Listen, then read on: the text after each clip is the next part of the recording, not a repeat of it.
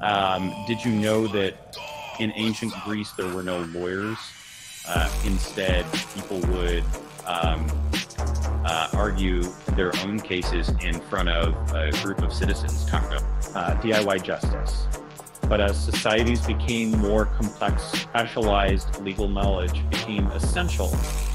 Uh, today, there are over a million active lawyers in um, the United States alone. And yet, despite this abundance of legal expertise, some mysteries still persist. Why do innocent people confess to crimes um, they haven't committed? What's the deal with the often problematic use of eyewitness testimony in the courtroom? Join me as we as we delve into a fascinating world of legal mysteries and discover the answers or lack thereof together.